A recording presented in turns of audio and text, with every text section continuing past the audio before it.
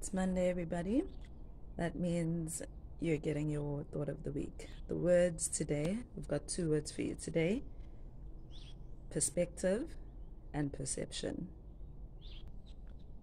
Perception is how you receive things, how you understand things that are happening around you.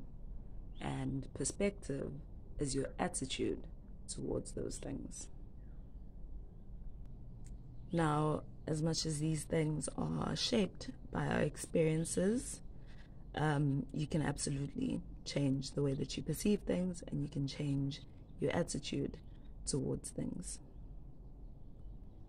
It is 100% up to you. So, today, this week, how are you going to perceive the things that you are feeling like you're not in control of in your life?